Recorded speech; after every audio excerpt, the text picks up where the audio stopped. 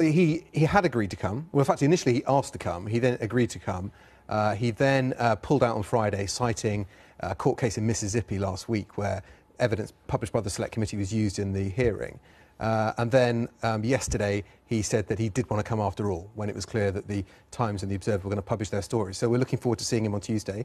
I hope as well that if there are supposedly thousands of documents um, that uh, Isabel Oakeshott has, and I think we would welcome seeing some of those documents if they can be supplied. They would certainly help our questioning of Mr. Banks. As, yet, as of yet, we don't have uh, those documents. But I you're hoping to try and get to the bottom of these Russian connections when you question them. Yeah, we want to understand more about them and from what has been published so far to understand to what extent Mr. Banks profited from his relationship with the Russian embassy.